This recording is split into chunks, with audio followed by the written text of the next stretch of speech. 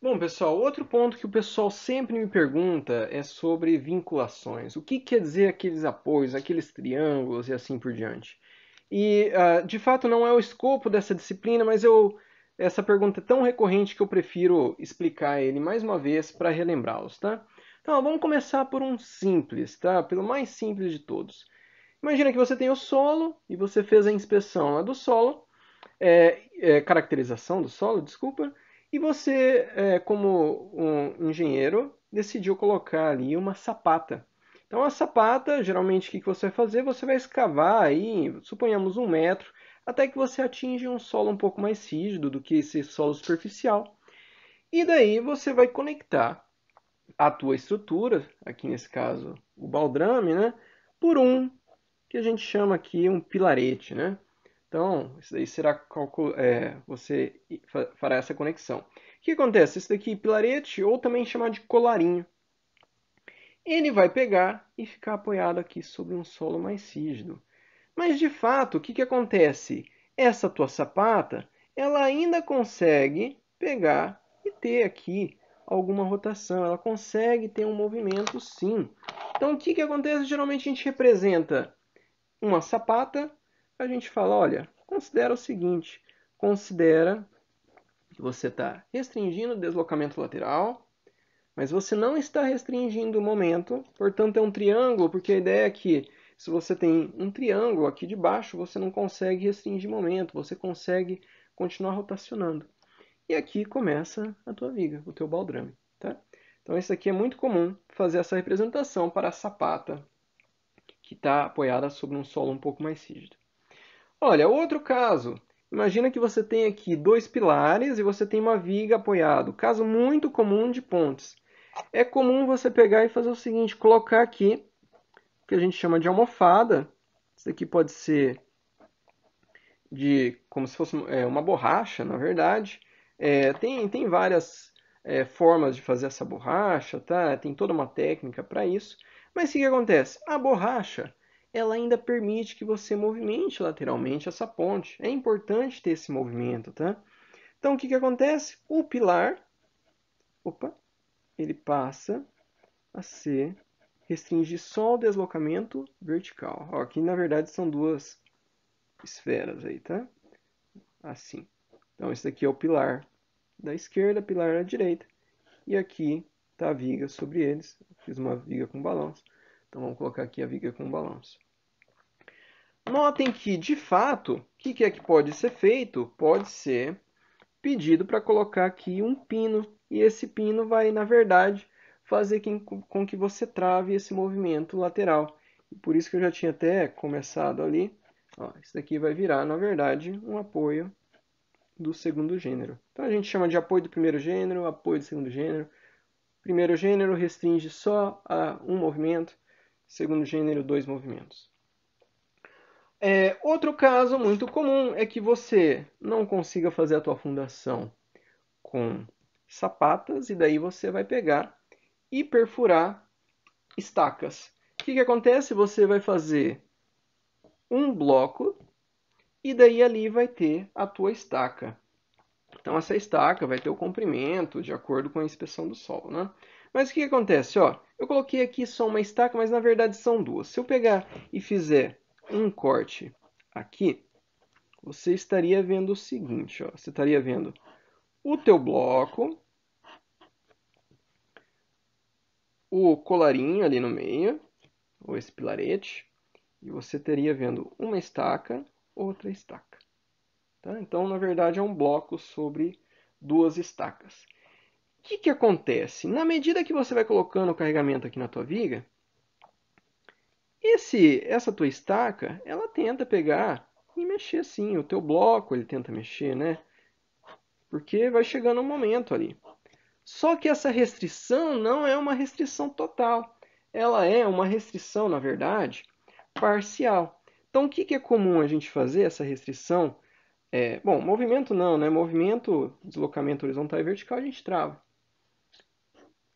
Igual a gente fez com a sapata, né?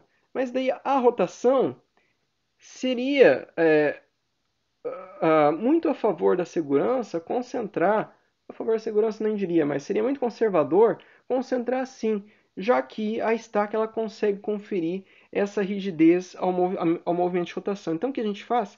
A gente chega aqui e coloca uma mola de rotação. Então o que, que essa mola está fazendo? Todo momento que chegar aqui, ela vai restringir a rotação dessa tua viga. Então essa mola de rotação ela quer dizer o quê? Ela quer dizer que você tem uma fundação que permite um certo grau de rotação, que não pode ser desconsiderado, mas também não pode ser considerado que restringe totalmente. No próximo caso, olha só, eu fiz um bloco aqui muito mais robusto, né? Então, é, vamos fazer aqui um desenho do bloco. Ó. Então, eu estou imaginando aqui que esse bloco, no centro está o teu pilarete, e que você tem uma, duas, três estacas, e lá atrás você também tem mais uma, duas, três estacas. Vou até colocar mais ó, uma estaca aqui, uma estaca aqui. Então tenho várias estacas. Então tenho três, seis, sete, oito estacas, tenho o pilarete no meio. Olha, agora a hora que esse bloco aqui ele tentar ter alguma rotação, a restrição ela passa a ser muito maior. Claro que é, o, o, a geotecnia vai, o pessoal da geotecnia vai ter que calcular qual que é essa restrição, mas daí sim, daí é muito comum a gente pegar e falar, ó, isso daqui é um engaste. De fato, né, tem muita gente que fala, professor, por que você coloca um engaste assim? O engaste não está lá embaixo? De fato, se quiser é um preciosismo, você poderia ter feito isso daqui, tá? Mas eu considero um preciosismo. É, vamos lá, mais um caso, tá? Que o pessoal sempre me pergunta essas molas de translação. Isso daqui é um caso típico. Ó. Imagina que você tem uma sapata, só que você não conseguiu escavar pouco. Você teve que escavar um bom tanto até chegar aqui no solo, né? no solo mais rígido. O que, que acontece? Isso daqui tem um comprimento L, ele tem uma rigidez axial, chama de E, que é o material, a área. O que, que vai acontecer? Na hora que eu pegar e for modelar essa tua viga, eu vou ter que pegar e colocar ali não mais uma restrição que nem essa, que eu travava totalmente o deslocamento vertical. Agora eu travo ele mais parcialmente. E quem vai determinar isso daqui é esse K aqui. É a, a rigidez dessa mola. O que, que essa rigidez da mola ela quer dizer? Ela quer dizer, olha, se eu fosse lá e fizesse um ensaio em que eu fosse colocando carregamento e fosse medindo o deslocamento, eu teria aqui é, uma função, né, nesse caso estou colocando linear, em que o K é a rigidez dessa mola, tá? Olha, de fato aqui quando você tem EA, que é a rigidez axial, você simplesmente divide pelo comprimento, essa daqui é a tua rigidez axial. Outro caso que é comum é de você ter uma sapata, mas a tua sapata não está sobre um solo rígido. Então, o que, que vai acontecer? Esse solo vai se deformar um pouco. Você, na verdade, vai analisar aqui o bulbo de tensões que vai se formar aqui nessa região, tá? Tem toda uma, uma teoria para isso. Eu estou fazendo aqui uma, uma pequena é, introdução.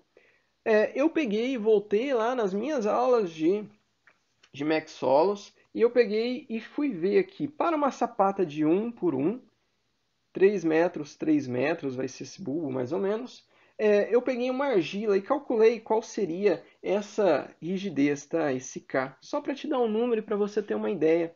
Então, ó, esse K eu peguei e encontrei que ele seria em torno de 1.500 kN por metro. Então, ó, como você está falando de rigidez, a translação, né, força e deslocamento. Então, para cada 1.500 kN vai deslocar um metro. Talvez o pessoal ainda tenha um pouco de dificuldade de ver em kilonewtons, tá? É, vamos pensar, ó, se isso daqui, isso daqui é a mesma coisa que 150 toneladas metro, tá?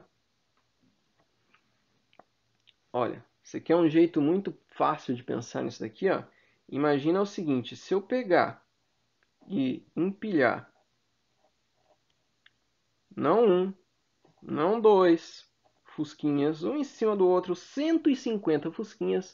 Um fusca é igual a uma tonelada eu conseguiria pegar e deslocar isso daqui de 1 metro. Então eu preciso de 150 fuscas para isso daqui descer 1 metro, que é um, um número razoável para des, deslocar 1 metro. E com isso, o que, que eu fechei com vocês? Eu fechei esse daqui, que é igual ao anterior, né? Então, tenho molas de translação. É, veja que aqui embaixo eu coloco rígido, porque essa mola de translação ela tem que estar ligada a um ponto rígido. Então, molas de translação, engaste, aparelhos do segundo gênero, apoios do segundo gênero com molas de rotação e também apoios do segundo gênero e do primeiro gênero. E agora você sabe do que, que é, o que, que a gente simboliza com todos esses apoios que a gente vai estar trabalhando. Muito obrigado.